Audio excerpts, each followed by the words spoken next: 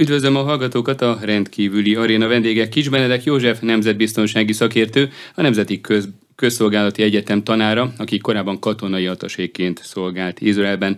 Üdvözlöm, köszönöm, hogy elfogadta a meghívásunkat. Jó estét kívánok, köszönöm szépen a meghívást. Én Király István Dániel vagyok.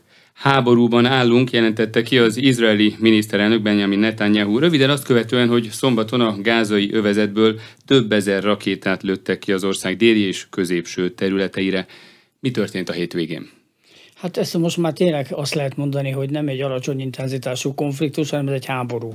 Gyakorlatilag olyan háborúról van szó, amely 1973 a Jom Kipuri háború után nem fordult elő Izrael történetében, tehát tulajdonképpen ezzel most történ- történelmet írtak, nyugodtan mondhatjuk azt, és hát azt is mondhatjuk, hogy a történelem megismétli önmagát. A Jom Kipur háború arról szólt, hogy váratlanul megtámadtak Izraelt, mégpedig két irányból, keletről és nyugatról, a szíriek, illetve az egyiptomiak, és hát nem szabad, meg hát a Jordának is részt vettek ebbe, és hát nem szabad elfelejteni azt, hogy váratlanul történt az is, mert egy szent napon volt. Hát most az ünnepeknek a vége van, az azt jelenti, hogy a Jonkipori megemlékezés az lezajlott, a Tóra felmutatása, mint utolsó ünnep, aztán korábban persze ott volt a új év, és ezek egyszerre eh, jelentkeznek Izraelbe, és hát ez azért jár, hogy egy kicsit föllazulnak a hatóságok is, és kicsit felazulnak az emberek, és ilyenkor családlátogatás van, mennek, kirándulnak, tehát nagy mozgás van az országon belül. Na most ezt az időpontot választották ki a palesztinok arra, hogy egy átfogó támadást indítanak. Azért mondom, hogy átfogó támadás, mert szárazföldön, vízen és levegőben egyaránt történt. Ami a levegőt illeti, nyilván arra azt tudom mondani, hogy nyilván korlátozott, hiszen a palesztinoknak nincsen légi támadó képessége, de azért vannak olyan eszközök, amiből a levegőből, amivel levegőből is támadást lehet indítani. Egyébként pedig a vízen pedig lehet szintén mozogni, bár azt tudni kell, hogy az izraeliek nagyon kevés helyet adnak a palesztinoknak ahhoz, hogy a tengeren mozogjanak, tehát hogy 2-3 kilométernél mélyebben nem mehetnek be a tengerbe, de hát az éppen elég, hogy onnan is indítsanak támadást, és hát ami, ami meglepő, én, én ezen nagyon meglepődtem, de nem vagyok egyedül, az, hogy áttörték azt a kerítést, amire az izraelek azt mondják, hogy áttörhetetlen, tehát erős. Nyilván egy kerítés akkor ér valamit, ha ott van egy személyi védelem, és maga az eszköz az nem sokat jelent, de hát ezek magas falak tulajdonképpen, és drótkerítés is van. Hát egyik helyen ilyen, másik helyen olyan, ahol drótkerítés van, azokat simán legázolták, buldozerrel neki mentek, letapostak és átmentek. Na most ugye, amikor, amikor megindultak a szárazföldön is, nem találkoztak ellenállással.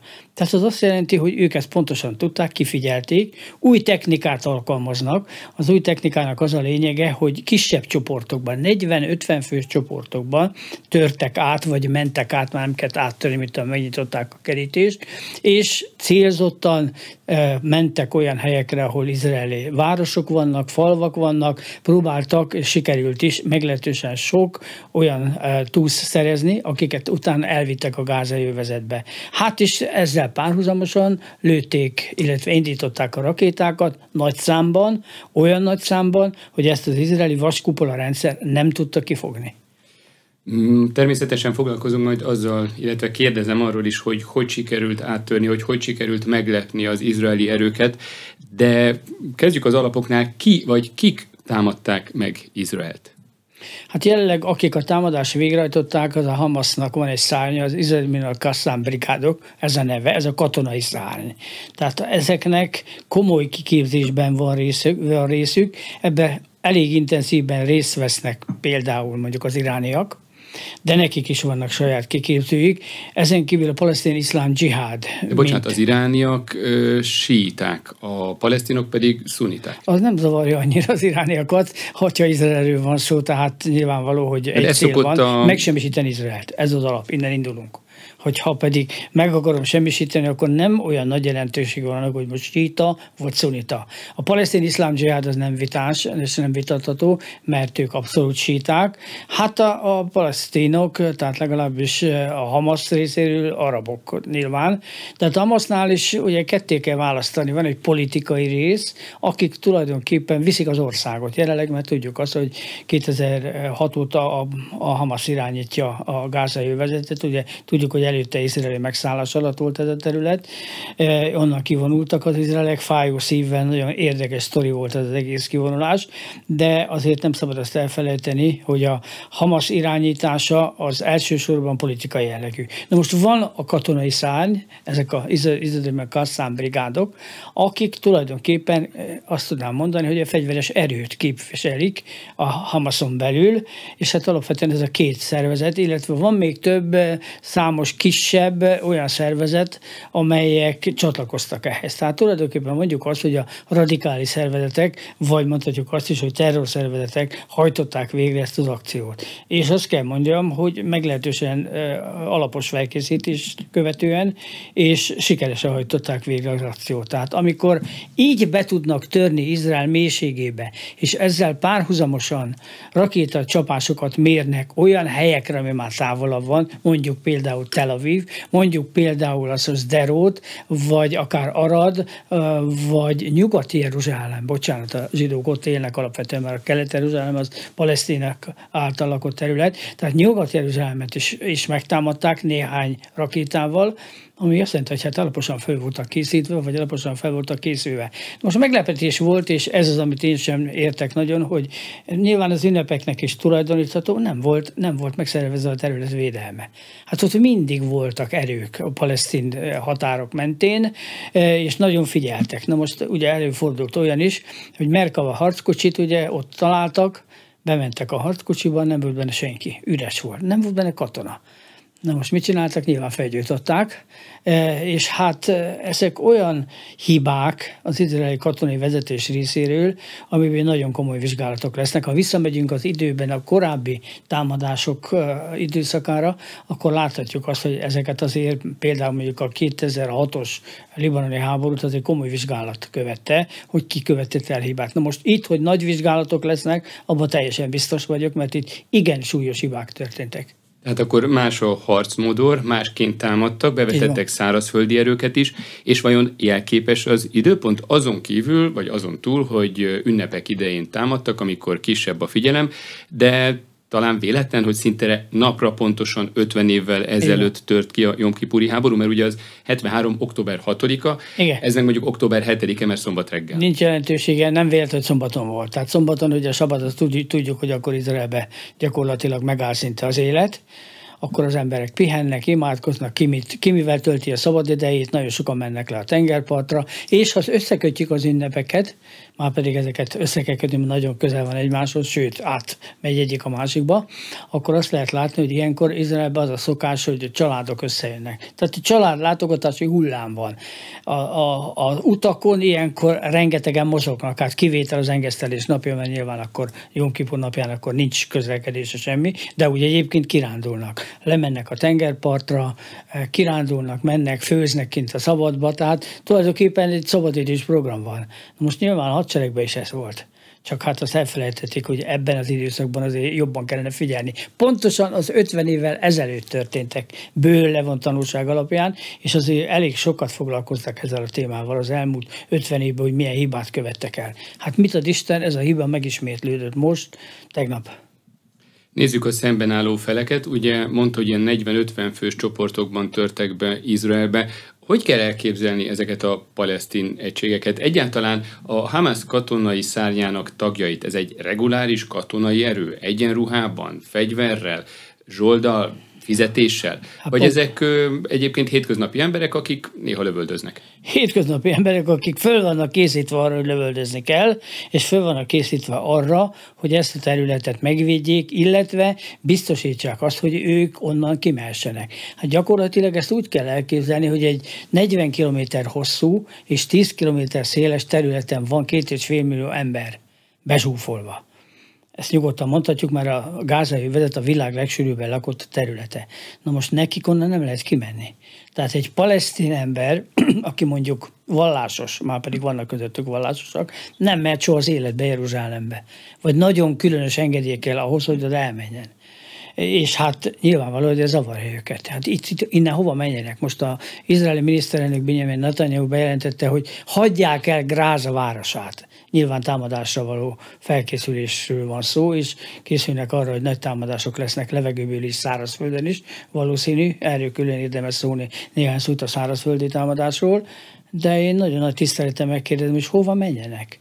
Hát, hogyha körbe van kerítve az a terület, akkor menjenek a tengerbe, vagy menjenek át Egyiptomba, ahol olyan nagyon nagy szeretettel a gázaiakat nem fogadják. Ugye fölmerült már itt területcsere, fölmerült az, hogy kerüljön vissza a sínai félszigethez a gázai részleg, amire azt mondták az egyiptomiak, hogy köszönjük szépen, szó nem lehet róla. Azt mondták, hogy ez Palesztina. Tehát mi a Palesztina, mi Egyiptom vagyunk, nekünk nem kellenek a palesztinak. Tehát itt azért egy nagyon, nagyon kellemetlen helyzet alakult ki, és hát tulajdonképpen nincs mit kezdeni. Egy szerencséjük van, amiről nálunk keveset beszélnek, mert nem tudnak róla, hogy ez a terület a tengerbe nagyon gazdag halag van. Tehát, hogyha ők kimennek a gázai övezetből a tengerre, nem mehetnek ki csak 3-4 kilométerre, többet nem, mélyebben nem mehetnek. Tehát nincs meg az a normális nemzetközi jogban biztosított terület, ami az országhoz tartozik, hát nem is országról beszélünk, és hát őket nem engedik ki. Régebben úgy volt, hogy ott a izraeli hajók állandóan járőröztek, és hogyha valaki túlment azon a távolságon, ami nekik meg van határozva, akkor felszólítás nélkül lőttek rájuk viszont hol van, tehát ebből adódóan táplálékot tudnak szerezni, és hát nyilvánvaló, hogy ebből azért meg lehet élni, meg hát az olajfákból is lehet azért valamit csinálni, tehát a mezőgazdaság úgy, ahogy működik, de most ugye ennek a háborúnak a következtében elzárták az áramot az azt jelenti, hogy áramnukú, már pedig Izraelbe megy az áram. Vagy például vannak olyan érdekes dolgok, amiket az emberek nem is tudnak, hogy például az izraelék biztosítják a palesztin kórháznak az oxigénellátását. Hájfából szállítják oda az oxigént. Na most a kórházban nincs oxigének, akkor mit tudnak csinálni? Tehát ott nagy problémák vannak. Ja, hogy még az üzemanyagot se viszik el. Na most nyilván tartalékok vannak. Az üzemanyaggal tudnak autókat mozgatni egy darabig, még ez el nem fogy illetve hát nyilvánvaló, hogy az üzemanyaggal tudnak aggregátorokat működtetni, és így van áram. De úgy egyébként nincs áram. Tehát itt nagyon nagy problémák vannak, meg lesznek, különösen akkor, amikor ezeket az intézkedéseket be is fogják tartani. Már pedig egészen biztos vagyok benne, hogy ezt be fogják tartani. Hány fegyverese lehet a Hamasnak? Kik ők? És akkor, mint említette, az Irántól kaptak felkészítést, kiképzést. Hogyan? Az iráni forradalmi gárda tagjai, hát azok bemennek oda, hát végül is utazni lehet, Egyiptomon keresztül be tudnak menni, nyilvánvaló, hogy nem Izraelen keresztül mennek, mert nem engedik őket be, vagy ezek mennek oda. Tehát ez megegyezés kérdés, hogy hol, hol hajtják végre a kiképzést. És hányan hát, lehetnek? Hányan lehetnek? Két és fél millió emberről az, beszélt. Azért, azért pontosan ezt nem lehet megmondani, hogy hányan vannak, mert különböző csoportok vannak, de hát tulajdonképpen azt tudnám mondani, hogy a Hamas létszámából adódóan a fegyveres erőknek a tagjai, azok vannak körülbelül 80 ezeren.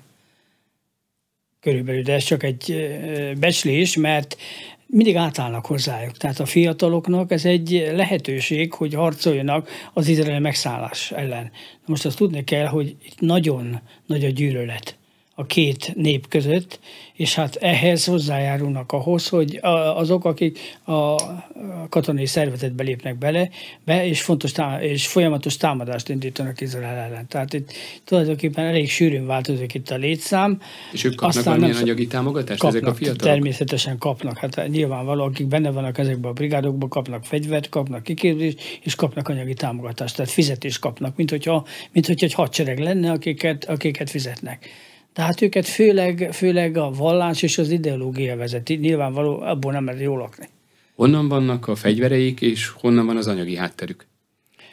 Hát azt szokták mondani, hogy hát nyilván az arab országok biztosítják elsősorban, nem verik ezt sem nagy dobra, de ebbe e, a jellegi helyzetbe azt lehet mondani, hogy Irán nagy szerepet játszik, legalábbis a különböző szakirodalmak erről számolnak be, meg ezt lehet tudni, amit a sínai félszigeten keresztül szállítanak be a gázai vezet területére, nyilván Izraelen keresztül azért nem működik ez a dolog. Időnként hajóval is kikötnek, ha el nem kapják őket, azok is Iránból érkeznek eh, többnyire, és az Iránon belül is pedig, Iránon belül pedig a forradalmi gárda, az iráni forradalmi gárda feladata a külföldi katonai szervezetekkel történő kapcsolattartás. No, ebben van benne Hamas, a Hezbollah és a többi ilyen szervezet. Tehát megvan az utánpótlás, emiatt nem kell túlzottan aggódni. Itt a probléma jelenleg náluk az, hogy igen nagy a bezártság. Most amit lehet látni, és lehetett látni az elmúlt hónapokban, az az, hogy a Hamas kiterjesztette a hatalmát vagy a befolyását a Cisjordán területekre. Két terület egymástól el van választva. Mivel ugye mondtam, hogy a gázai vezetből nem lehet kimenni, oda bemenni se lehet, tehát itt, eh, itt az elválasztásból adódik egy olyan feladat, hogy eh, egy olyan helyzet, hogy nagyon szeparáltan élnek ezek az emberek, és hát tulajdonképpen azt szokták mondani, hogy ez a Cisjordánia területén élő palesztinok, azok olyanok, mint a Bantusztán. Tehát vannak települések, vannak városok, ahol nem lehet átmenni egyik helyről a másikra, mert közte van egy izraeli terület, ahol nem engedik át őket. Vagy ugye él körülbelül 200 ezer palesztin kelet-Jeruzsálembe, oda azok az emberek, hát akik Gázába élnek, felejtsük el, tehát ők nem mehetnek fel a templomhegyre imádkozni. Tehát egy muzulmán oda nem mehet gázai övezetből. De a Cisjordán területekből sem mehetnek be Kelet-Jeruzsálembe, mondjuk például a templomhegyre, olyan személyek, akik palesztinok, és szeretnének fölmenni a templomhegyre imádkozni. Azok mehetnek be, akiknek van külön engedélyük, külön igazolványuk, amire rá van írva, hogy feljogosít Kelet-Jeruzsálembe történő belépésre. Aki nem, az marad a kis falujában. Na most ez a bezártság az unalmas most már számukra, tehát el tudom képzelni, hogy ez a helyzet is oda vezetett, hogy most már számoljuk ezt fel élünk vagy halunk, itt most ezt meg kell szüntetni. Ezen kívül ebben az évben körülbelül olyan 250 embert öltek meg az izraeliek különböző akciók során. No nem azt mondtam, hogy ezek ártatlan bárányok, ezek főleg Hamas emberei, akik, akik merényleteket hajtottak végre. Izraeli embereket öltek meg. Na most nyilván erre van egy akció, reakció. És hát ez, ez most már oda fejlődött, hogy iszonyatos nagy a gyűlölet. Onnan volt a Hamasnak több ezer rakétája, amit kirőtt Izraelre. Eddig talán 5-10 év alatt lőttek ki ennyi rakétát, számtalan szó beszámolunk mi is arról, hogy rakétákat lőnek ki, kettőt, hármat. És ugye már szombaton is mondták, hogy a Jonkipúri háború óta ez a legvéresebb támadás Izrael ellen, több ezer rakéta néhány óra alatt. Ez egyértelműen igaz. Hát ott bőségesen vannak úgynevezett alagutak. Ezekben az alagutakban tárolják a fegyvereket. Tehát ezek föld alatti alagutak, és folyamatosan szállították át, szintén Egyiptomon, sínai félszigeten keresztül, Szudánból úgy egyébként, és szállították Szudán érintésével. Szállították ide a különböző búvóhelyekre, ez az egyik típusa, a rakétáknak, a másikat pedig ők gyártják, tehát ilyen házi készítésű műhelyekben gyártott, mondjuk egy autószerelő műhelybe javítják az autókat, de hátul van egy olyan rész, vagy a föld alatt van egy olyan rész, ahol rakétákat is tudnak csinálni. Nem azt mondtam, hogy ez a legkorszerűbbek, de arra viszont jó, hogy akár 10-15 vagy 20 kilométerre el tudnak vele lőni, és ezzel rendkívüli módon veszélyeztetik az izraeli lakosságot, polgári lakosságot, ami ugye nem sűrű ott az izraeli lakosok száma, de azért vannak települések, vannak mosávok, még a kibucokból is maradt egy-kettő, de inkább mosávok, ami már modern változata a kibucnak, és hát ezek ott főleg mezőgazdasági termeléssel foglalkoznak. Hát egyáltalán nem kellemes dolog, hogyha valakinek a fejére esik egy ilyen vasdarab, e, és mondjuk a házát megsemmisíti, vagy kigyullad. Tehát itt nyilvánvaló, hogy ezeket ki kell e, iktatni, és ezt, ezt folytatja gyakorlatilag a vaskopola rendszer. Amit tud ezt, ami most volt, ezt nem tudja. Azért, mert túl sok rakéta, túl sok robbanó Úgy képzeljük el, mint amikor az informatikában azt mondják, hogy terheléses támadás. Tehát amikor annyi információt zúdítanak a számítógépre, hogy nem tudja kezelni. Na ez most ugyanígy van, csak ezek a rakétákkal vannak és nem tudja. Hát ennek is van egy befogadó képessége, hát azt ugye el kell fogni, tehát a radarnak működni kell, a radarnak megvan a tulajdonsága, hogy mennyit tud egyszerre követni, és ezen kívül indítani kell rá egy rakétát, amit szintén, hát azt tudom mondani, hogy csak korlátozott számba lehet. Hát eddig tudták fogni, de ilyen ekkora számra nem gondoltak az izraeliek. Kinek állhat érdekében az, hogy most eszkalálódjon ez a helyzet, most alakuljon ki egy háború a közel-keleten? Felsejlik-e a háttérben bármilyen nagy hatalom, vagy akár Irán, Teherán számára miért lehet fontos az, hogy 2023. októberében egy ilyen jelentős támadás induljon Izrael ellen? Ebben benne van az 50 éves évforduló, tehát akkor hajtottak végre egy váratlan támadást, és itt van a hiba az izraeleknél, erők nem gondoltak. Ezt azért, ezt azért tudni kellett volna. Hát egyszerűen nem, nem tudják érzékelni azt, hogy milyen mozgások vannak a gázai vezetben. Sőt, sőt, volt olyan értekezlet is, ha jól tudom, Libanonban, ahol ezek a szervezetek szépen megbeszélték azt, hogy mit kellene csinálni. Tehát ők erre készültek évforduló szempontjából, készültek abból a szempontból, hogy elege van most már a palesztinoknak azzal, hogy be vagyunk zárva, el vagyunk nyomva, és gyakorlatilag semmiféle tárgyalás nincs. Izraelben egy másik kormány van, egy, egy eh, szélsőséges, vallásos emberekből álló, azok is benne vannak ebbe a kormányba, akiknek eszében nincs az, hogy bármilyen megegyezés legyen a palesztinokkal. Ezt a palesztinek pontosan látják. Látják azt, hogy állam létrehozására nincs esélyük. Csendbe jegyzem meg, hogy egyébként képességük sincs, mert ott is nagyon sok probléma van. Tehát a Hamas, illetve a Fatah közötti ellentét egyik a gázai vezet, másik Cisziordán terület, az természetesen magas szinten működik. Választások már nem tudom mióta nincsenek. Abbas nem adja át a hatalmát, a, a két szervezet egymással nem egyezik meg, tehát nem tudnám azt mondani, hogy most ott lehetőség van arra, hogy kivel tárgyaljanak egyébként az izraelek. Nyilván azt nem lehet elképzelni, hogy terrorszervezettel tárgyalnak. De ugyanakkor, hogy kinek áll érdekében, meg kell nézni az iráni véleményeket. Ők ugye mai napig azt mondják, hogy Izrael le kell törölni a föld veszélyéről még akkor is nem mondják ezt minden nap. Hát a nyugat elítélte. A többi országok, hogyha megnézzük a oroszokat vagy az ukránokat, akik most szembeállnak egymással, ők is elítélték ezt az egész dolgot. Mind a két fél. Oroszország is? Mind a két fél. Oroszország számára nem lehet ez egy jó lehetőség, nem lenne ez egy jó lehetőség arra, hogy a nyugat figyelmét megossza? Hát a lehetőséget biztosít, hogy megoszta a nyugat figyelmét, de mondjuk ez nem egy egyszerű dolog, mert az Amerikai Egyesült Államok egyértelműen Izrael mögött van. Tehát az biztos, hogy mindenbe támogatják. De itt, itt most nem arról van szó, hogy az amerikai katonákat kell, nem, nem kell, van, van Izraelnek elegendő, csak hát, hát itt nagy hiba történt. Ebben az időben most elengedték magukat rendkívüli módon, és nem figyeltek oda, amire oda kellett figyelni. Vagy a palesztinoknál például ugye Hát nyilván az izraeli rádiófelderítés, illetve a telefonlehallgatás magas szinten van, azt tudjuk, jól működik. És mi van akkor, hogyha a palesztinok nem használnak telefont? Általában nem szoktak használni. Nagyon sok palesztin vezetőt, főleg terroristát nyilván, úgy végezte ki, hogy telefonált. Levették a telefont, és már is ment a rakéta, és volt, nincs az ember.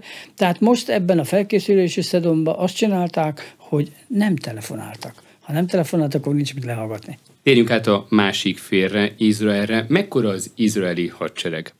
Az izraeli hadsereg alapvetően arra épül, hogy tartalékosokat hívnak be.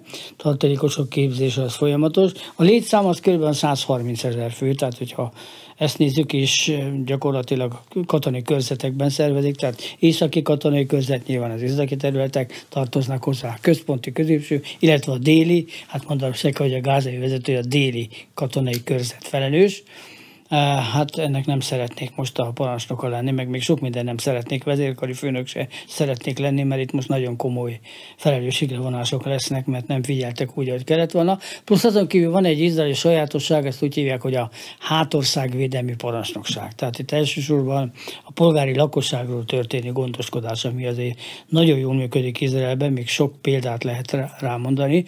Ez gyakorlatilag ebből épül föl a haderő, és hát azt kell mondani, hogy most egy eh, négy hadosztályt készítettek fel arra, hogy a szárazföldi akciókat valósítsák meg. Ja, és természetesen minden haderő nem né, tehát a szárazfölderők, légierőnél, haditengerészetnél. Haditengerészetnek a létszám azon tízezer fő körül van, mindenütt vannak körülöges erők.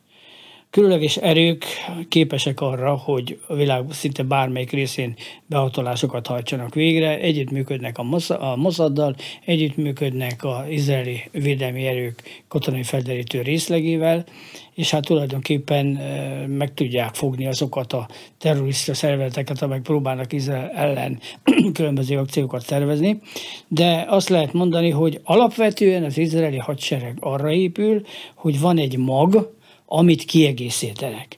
Ez a kiegészítés behívással történik, amit nagyon gyorsan végre lehet hajtani. Ezt most ugye elrendelték, tehát meglehetősen sok embert mozgósítottak, és nagyon gyorsan összeáll az új katonai alakulat a tartalékosokból, mert ezek nem úgy vannak, hogy időnként bevonnak, hanem minden évben bevonulnak. Tehát ezek ismerik egymást. Ezek telefonkapcsolatban vannak egymással.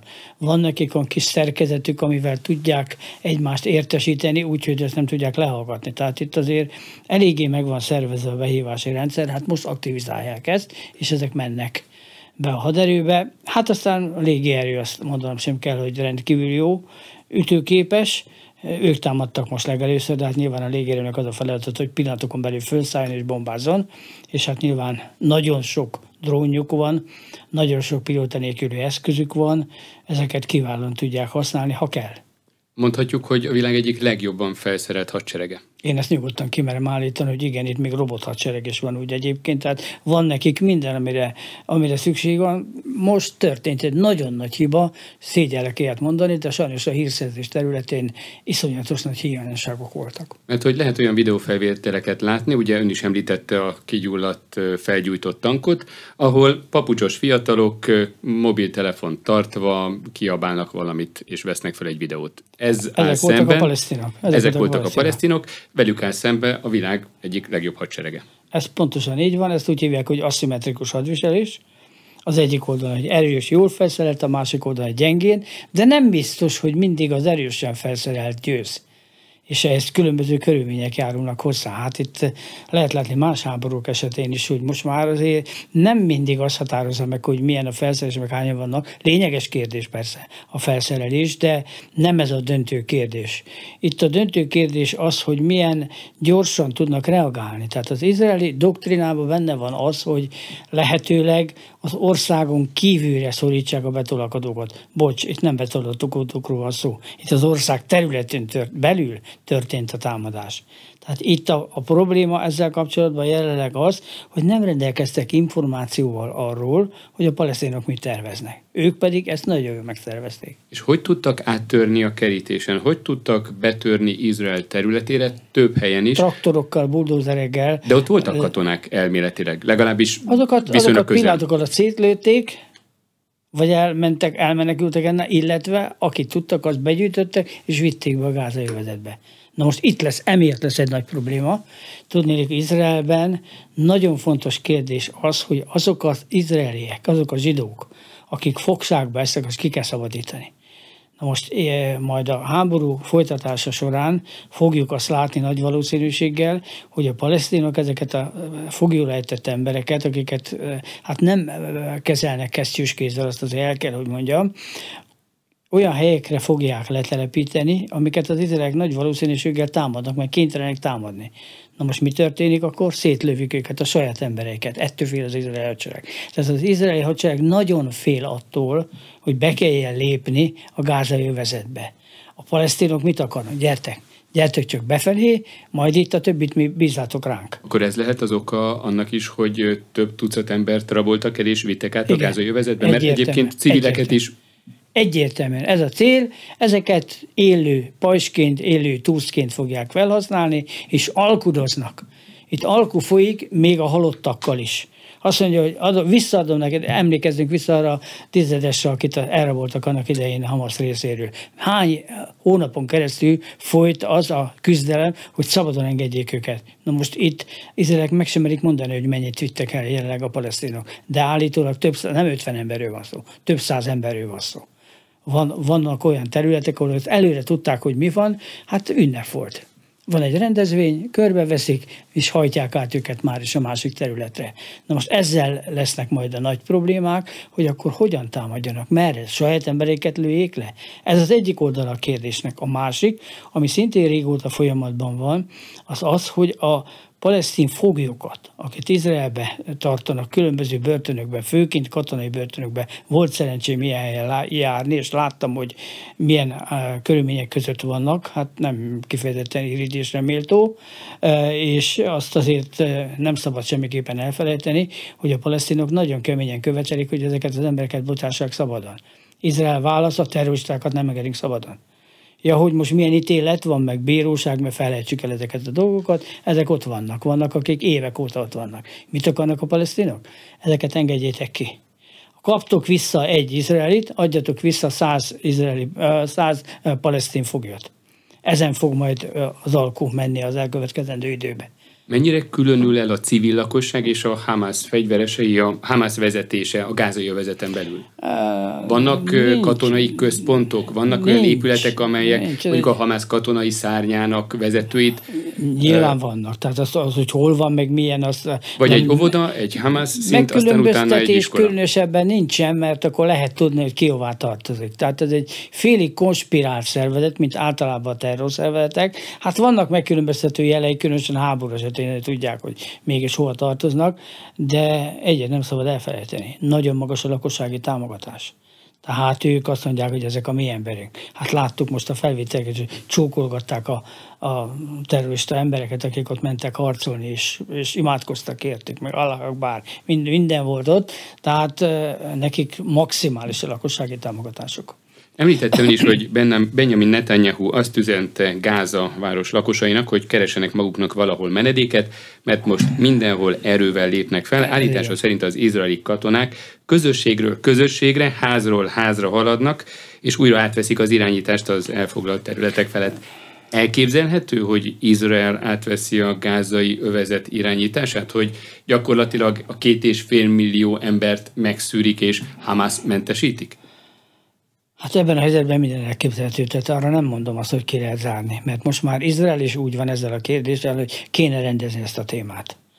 Tehát ahhoz pedig nincs más megoldás, mint bevonulni a gázai övezetbe, és tényleg úgy, ahogy a Bibi mondta, háztól házig tisztogatás, és azokat az embereket, akik a szélsőséges szervezethez tartoznak, többnyire vagy fogságba helyezik, vagy megölik őket inkább az utóbbi változat mellett vannak. De Akik hát ellenállnak, sokkal, azokat lelőjük azonnal. Sokkal ritkábban lakott területeken, például Afganisztánban láttuk, hogy ez mennyire hatékony, mennyire Én nem hatásos. mondtam azt, hogy ez sikeres akció lesz. Itt egy nagyon komoly ellenállás lesz, és ezért mondom, hogy ha ez folytatódik, és a nemzetközi közösség nem lép föl, akkor Gyakorlatilag most Izrael abban a helyzetben van, hogy teljes mértékben el akarják ezt a kérdést rendezni. Tehát ehhez be kell menni az izraeli haderővel. Ezért van a mozgósítás, ezért van az, hogy harckocsikat, tüzérségi eszközöket, páncélozott szállító harcjárműveket, műszaki gépeket oda vezényeltek a határ mellé, és ha jön egy politikai döntés, akkor mennek. Ez egy nagyon felelős politikai döntés, de úgy néz ki, hogy jelenleg a kormány ezt a változatot támogatja. Mennyi időbe telne egy ilyen offenzíva? Legalábbis most mit lehet sejteni? Hát egy ilyen teljes meg, megtisztítása szerintem több hónap. Kettő-három biztos de akkor is maradnának ellenállási fészkek. Hát emlékszem, mikor kijöttek onnan az izraeliek, meglehetősen kemény volt onnan kihozni. Gondoljunk csak bele, hogy például a síróból ki kellett szedni az izrael halottakat. Át kellett vinni Izrael területre. Hát ne legyen ellenséges területen. Az emberek sírtak, mikor elvitték onnan. Nagyon komoly kibucok voltak.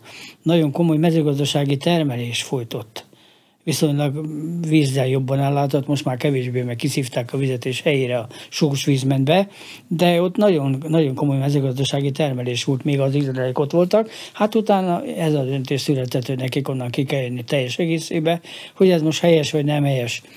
Ez most már késő, ez már megtörtént, de történelem itt is ismételheti önmagát, és lehet, hogy vissza fognak menni. Hány emberre lehet ahhoz szüksége Izraelnek, hogy ezt a műveletet végrehajtsa? Megismétem, két és fél millió ember lakik ott, két és fél millió emberről kell megmondani, hogy ellenség vagy együtt élni számunkra képes ember. Szerintem ez inkább retorika kérdése, kérdése, gyakorlatban ezt nem tudják megvalósítani. Én úgy gondolom, hogy itt egy nagyon nagy háború lesz, sok-sok halottal, mindkét fél részéről, mert ha az izraelek bemennek, akkor ezt alig várják a palesztinok, föl vannak készülve, és nem ez a céljuk. meglepetések lesznek. Nem ez a céljuk a palesztinoknak, hogy de, behúzzák de, az izraelieket? De, de, ez, pontosan ez a céljuk. Az izraelek meg ezt szeretnék elkerülni. Tehát még abban is vita lesz, hogy most bemenjenek a hadsereg részéről, vagy nem. A hadsereg nem szeretne bemenni, de a politika úgy dönt, akkor itt nincs vita. Tehát attól kezdve bemennek Miért nem, állították meg, miért nem állítottátok meg őket korábban? Tessék bemenni, és tessék rendet csinálni. Tehát itt nagyon komoly belső viták lesznek, egyáltalán az, az alkalmazást illetően, vagy azt mondják, hogy mielőtt bemennek, tüzérségi eszközökkel, légierővel szétbombázzák Gáza városát. Az azt jelenti, hogy kőköve nem marad. De az nagyon sok a civil. Hány millió civil és, van? Akkor mi van? Vagy hány százezer? Bocsánatot kérek, hogy ilyet mondok, háborúban meghalnak az emberek. Aki onnan nem megy el, megmondta a Bibi, menjenek el. Azt nem mondta meg, hogy hova. Nem mondta meg, Irán sem mondta. Nem, nem mondta, hogy gyertek Izraelbe. Onnan elmenni. Hát sokféleképpen meg lehet oldani. Igen, De csak hogy légierő milyen... ezen a területen sokat tud tenni. Milyen hatása lehet ennek a, az akció megítélésére, Na pláne itt, az arab országok között? Itt a probléma.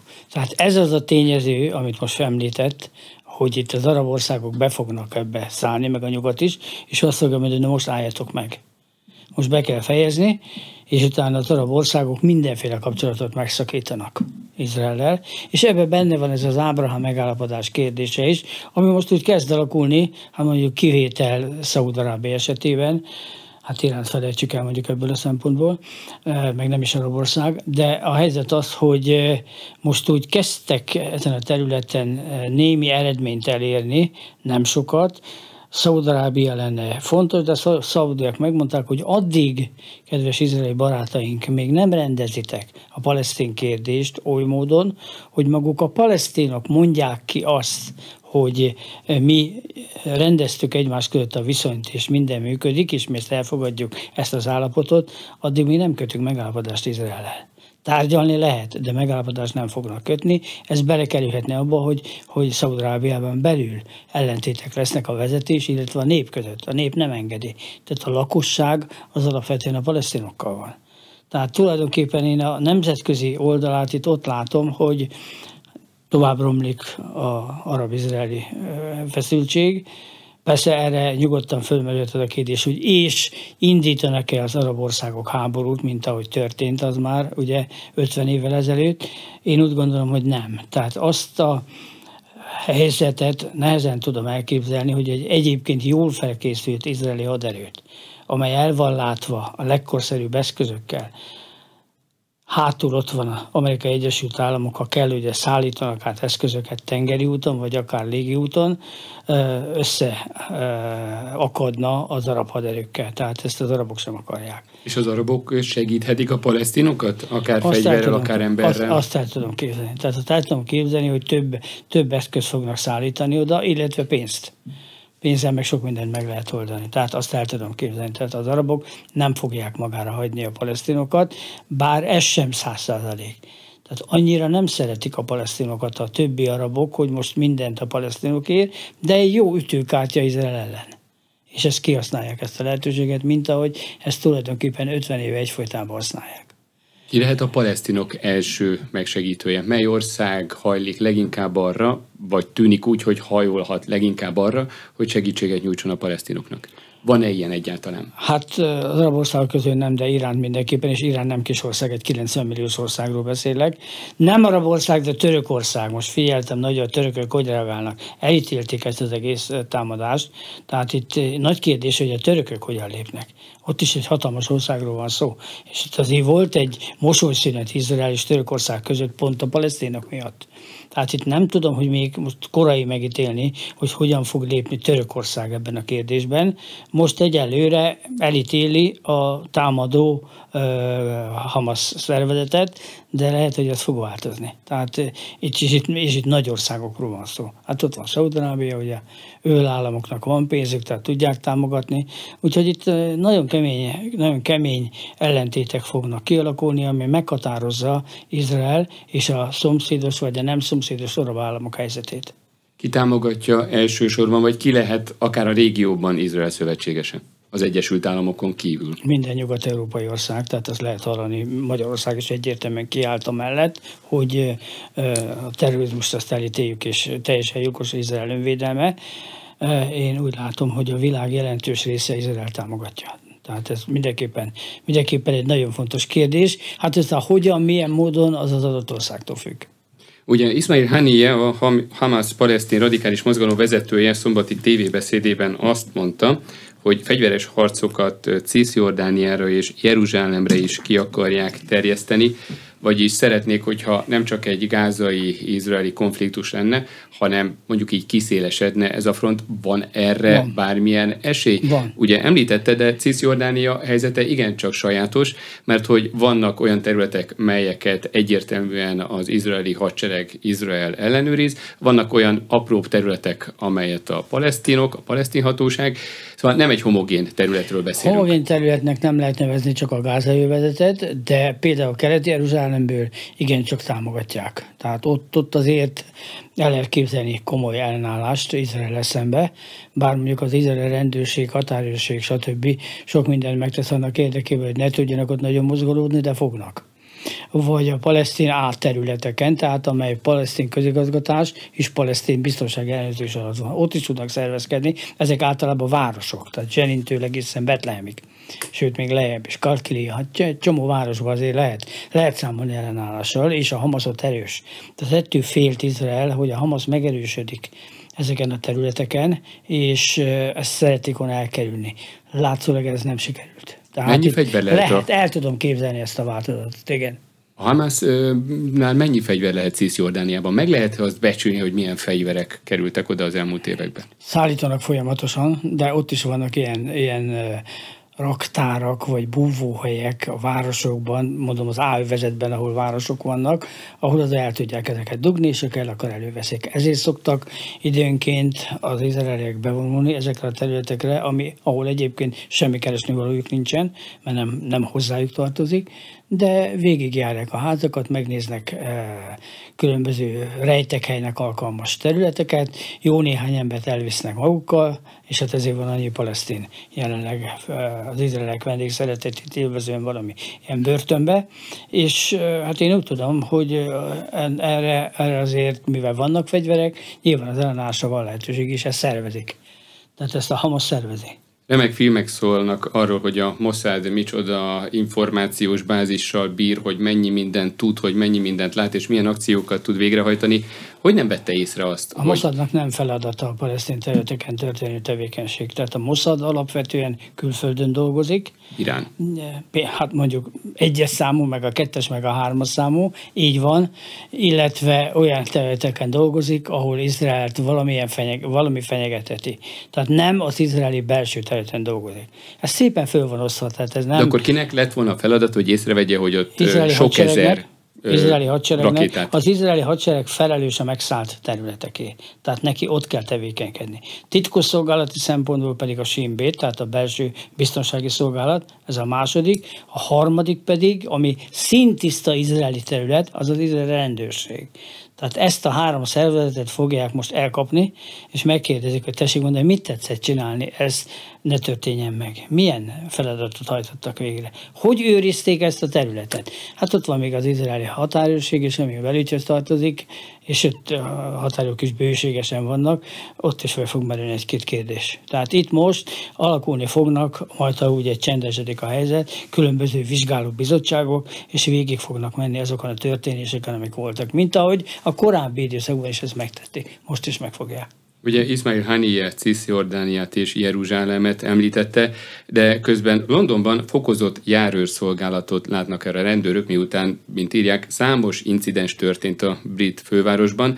Azt állítják, hogy vannak arra utaló jelek, hogy világszerte fokozódik a zsidó közösségek elleni terrortámadások veszélye, vagy legalábbis tüntetések, fellépések, akciók Nagyon jó veszélye? felvetés, nagyon jó felvetés. Ez benne van a pakliba, hogy szokták mondani pestiesen. Tehát itt azt arra lehet számítani, hogy külföldi, izraeli érdekeltségeket meg fognak támadni. Ebben benne van egész Nyugat-Európa, benne van az Egyesült Államok, és hát nyilvánvalóan ezzel az adott országoknak számolniuk kell. Mekkora lehet a palesztin diaszpóra Európában, Nyugat-Európában, illetve a Hamas radikális szervének, radikális szárnyának mekkora lehet az Európában lévő ember hát anyaga? A diaszporán belül, a palesztin diaszpora az meglehetősen szok tudni, tudni, el kellett jönni onnan, tehát nagyon sokan élnek külföldön, hogy most ezek közül mennyi a radikális, ezt senki nem tudja megmondani. Tehát itt legfeljebb becsülni lehet, de gondolom a palesztin lakosságnak körülbelül olyan 30%-a a radikális vonalat támogatja, mert hogy a mi területünket, meg a mi népünket az folyamatosan zaklatják, tehát nyilvánvaló, hogy ezek támogatják a területen élő palesztinokat. Én úgy gondolom, hogy ez szintén egy nagyon fontos kérdés lesz a jövőbe, különösen abban az esetben, ha ez a konfliktus folytatódik. Már pedig én semmi esélyt nem látok arra, hogy ez most rövid időn belül véget érjen a nyugat-európai, illetve a nyugati titkosszolgálatok, rendőrségek számára kiemelt szempont volt ez, vagy most kell elkezdeni felgöngyölíteni, hogy milyen radikális szervezetek kapcsolódhatnak jobban, vagy kevésbé jobban a Hát a palesztin radikális szervezeteknek a, a figyelése, a eseményeknek a követése, az tulajdonképpen a Müncheni merénylet óta azért meglehetősen fontos szerepet játszik Európában. Tehát e, igencsak figyelnek arra, hogy ez, ez a csoporthoz tartozó emberek hogyan tevékenykednek Nyugat-Európában és egyáltalán a világban. Tehát igen, fontos cél, és erre oda kell figyelni. Ez a háború, ami most kezdődött tegnap, ez még inkább hozzájárul ez a folyamathoz, mert a radikalizáció az kivált különböző lépéseket az adott országok eh, emberei részéről. Köszönöm, hogy itt volt az Aréna mai vendége Kis Benedek József nemzetbiztonsági szakértő, a Nemzeti Közszolgálati Egyetem tanára volt. A műsort visszahallgathatják az infostart.hu oldalon. A műsor összeállításában Szécsi Ágnes és Módos Márton főszerkesztő vett részt. A műsorvezetőt Király István Dánielt hallották. Köszönöm a figyelmüket, viszont hallásra!